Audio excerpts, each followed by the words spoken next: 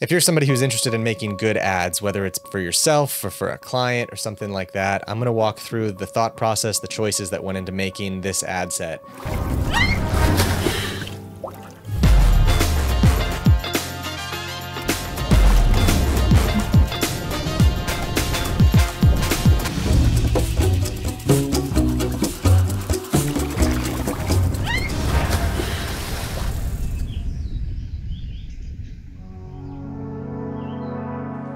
All right, so part one, let's talk about the concept. How did this thing come about? What was the thought process behind putting it together? This is not the technical specs. This is the the kind of ethereal, emotional, um, uh, philosophical reasons it came about. So what happened is Big Joe came to me. They said, "Hey, we want to do an ad for a new product called the Lagoon Lounger. This thing is crazy comfy. In fact, um, it's dreamlike, right? Like you're gonna fall to fall asleep in this thing, and it's so dreamlike. We called it the Lagoon Lounger. And what lives in lagoons? Mermaids live in lagoons. Obviously, mermaids live in the lagoons. And so when they said we might want to do something with a mermaid tail or something kind of fantastical, I was like, you guys are awesome because it's kind of rare when a client brings you an idea that's more creative than what you probably would have pitched them, right? Not even more creative, just more um, dangerous almost, right? Like it's it's a bigger risk to film something with mermaids, right, than just to film a regular product video and that's one of the things that I uh, respect so much about this client, um, and that I also think is a benefit of filming not the traditional style of like we're gonna make a commercial. It's a commercial. All the money goes into one edit. Uh, maybe there's a 16 or a 60, a 30, and a 15. Maybe there's different time cuts, but it's not a different concept versus in this case this is actually the ad set that we delivered to them it's seven things right it's not just one thing and i think that's the main difference between a, a, commercial where you have to put literally all of your eggs in one basket and an ad set where you get to say like hey we're going to film a bunch of stuff and we're aiming for like three to six deliverables. So we took the mermaid tail and my original pitch was uh, this is an unreleased uh, version of the ad an unreleased edit. My original pitch was you know girl falls asleep on her very comfortable lagoon lounger raft. We get this classic moment where she starts dreaming. She wakes up realizes she has a mermaid tail and falls off and then jolts awake. It's just like a classic dream sequence. I did this in my movie Turbo Cola. I've done this multiple times. I didn't come up with it. I'm not saying it's not cheesy. I'm just saying that it's a thing that we've seen a bunch and people immediately understand what's happening, right? Um, and so that was one of the original things is like, hey, let's film this sequence because then we can recut it any way we want to.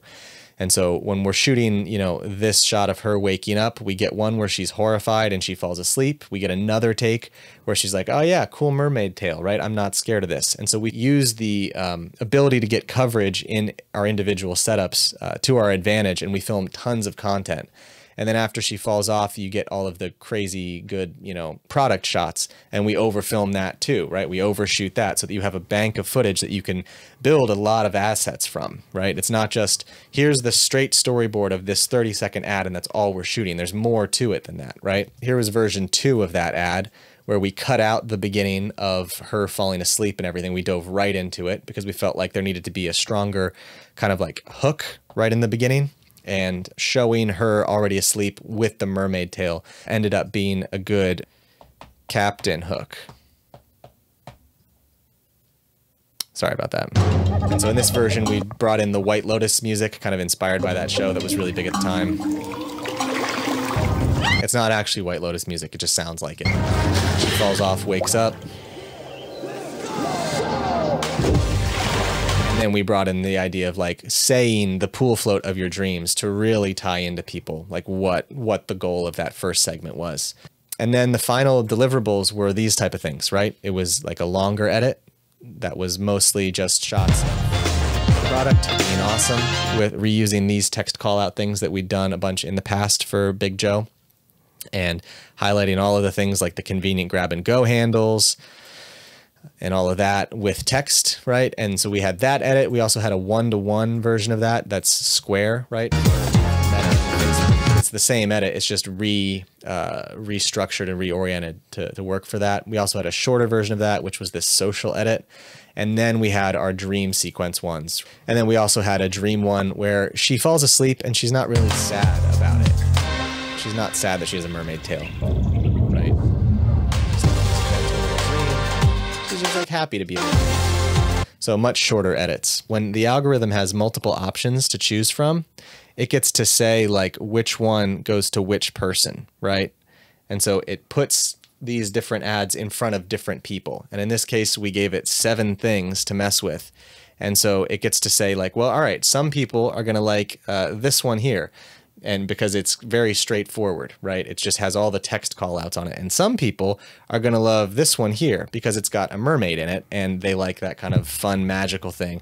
And some people like the longer ones because they need to decide, you know, they need longer with the product to decide. They're more like suspicious. And some people, they just need the short one. And so the short one will give to them. And the algorithms are so, so smart right now um, that giving them this kind of uh, depth of content of seven things to use um, seems to be the way to go.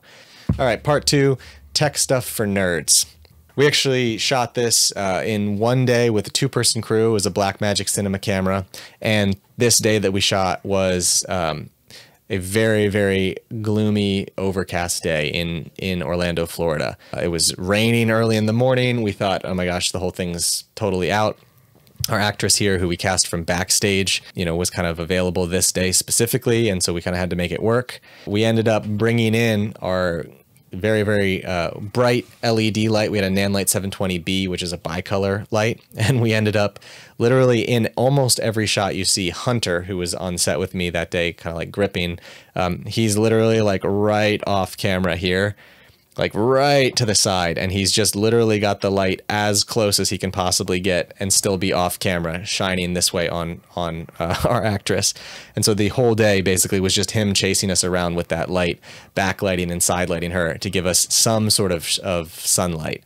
Um, and the pool was just like a teal gray color because the sky was teal gray and so we had to go in and kind of like qualify it and then push it into the the blue as if the sunlight was like reflecting off of it. And so in some shots you can see like obviously the sky is just like a, a gray blob up there, um, but it all goes by so fast. Shots like this, you can see there's like a shadow there, and the only reason there's a shadow there is because our light is literally like off camera right here just like blasting down as close as a hunter can possibly get it at 100% at like, you know, 3000 degrees Kelvin. Here, it kind of looks like she's sort of kind of sun sunbathing, and literally the light is just like over here cranking in, just right off camera as close as possible. It probably actually felt good for her, but it was kind of a, a chilly day. And here, there's another example. The light is literally just off camera here, just shining in as strong as it possibly can just from there like hunter's like right there and he's basically walking with me as i'm panning just to try and keep the light as close to her as possible. It feels like there's a little bit of sunlight from somewhere and I'm like, seriously? Because I'm from Pennsylvania and it's gray here, and we shot this in January essentially. And uh, I'm like, we're going to Florida. We're going to shoot this in Florida. It'll be so easy because it's going to be bright and beautiful. And it's like the one day that it was just like brutal, brutally overcast. Last thing I wanted to mention here, technically, was how we got this like underwater uh, water line here. I've done this before where the whole camera is encased in like a really professional housing. And I've also done it before with a fish tank where we were filming a crabbing boat um, for Giant Foods. We were shooting like a documentary thing about a crabber on a boat. And we literally, on the way there, we went to like Walmart and bought like a medium sized fish tank because we'd seen it online from like Jacob Owens or somebody. We put the camera in there and literally held the fish tank in the water so we could get underneath. What I did here was kind of the middle ground between the two things um, because I knew really what I wanted was this split view thing. I didn't really ever want to be like under, under, underwater. I just wanted to be able to come up out of the water almost as if we were the people swimming. So the rig for these underwater setups was actually like, if this is the water line, it was a little bag type camera rig here where um, I had the, the top of it open and a little EVF viewfinder on a magic arm sticking out. So I had my little monitor here, a little viewfinder I could look at, and the cameras here with the lens underwater, but I never dipped far enough underwater to fill the bag with, you know, anything. And um, it was sealed and, you know, on the sides, it was perfectly sealed. And I was only concerned about this top seal here and about actually closing the top of the, like, it's basically a Ziploc bag with a spot for the lens, uh, like a black Ziploc bag. And so I just never ducked it all the way under the water we just kind of kept it right on level here and did the whole sort of barely under the water and then back up. Uh, but when my eye was on the EVF, I was really close a couple times to just like dunking the entire camera underwater, which would not have been uh, not have been great. So yeah, that's the Lagoon Lounger. I think for me, a project like this is such a cool opportunity to do some narrative kind of fun beats and storytelling and also to make an ad that's like straight up product call outs and stuff. And when those things can come together um, it feels like for the client it's the best of both worlds because they get a little creativity they get a little fun um, they get something that stands out from just just the the slog of beautiful bright e-commerce imagery right? And so there's a little bit of a standout but then it's also just some beautiful shots of the product as well. And i think that's a that's a win-win for everybody well, thanks for watching this. If you want to hear more, I'm going to make more of these, I think. So feel free to drop a comment with what you'd like to see or hear differently, um, more things you're interested in or not. And the other thing is, I am uh, working on a three hour long director's commentary for my feature film, Turbo Cola, which won the Independent Feature Film of the Year award from Film Threat last year and got a bunch of other cool accolades and I'm putting together the commentary for that. It'll be about three hours long. It's going to cost money because it has to be behind a paywall because uh, the movie is out there on Apple TV and Amazon and everywhere, and I can't give it away for, for free here on YouTube. Um, but if you're interested in that, you can definitely jump on the waitlist, and I'll send you an email when it's ready. Uh, besides that, thank you for watching, and I'll see you around. Make make good movies.